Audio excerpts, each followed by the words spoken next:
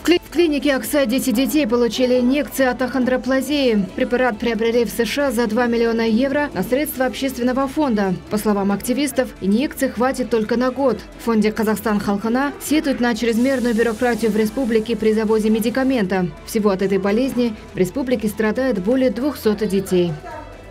Если мы удлиняли конечности путем э, применения аппарата Елизарова, то есть этот аппарат накладывается на разные сегменты и делается уситомия, то есть ломается кость и удлиняется по 0,1 мм в сутки. Мы вырастали собственную кость до 5 до 6 сантиметров.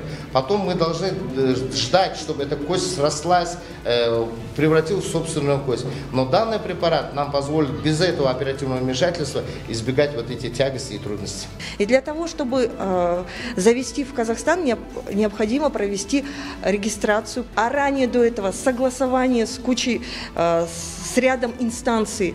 Э, это консилиум, отборы пациентов, это согласование с компанией-производителем, которых находится в дальнем зарубежье.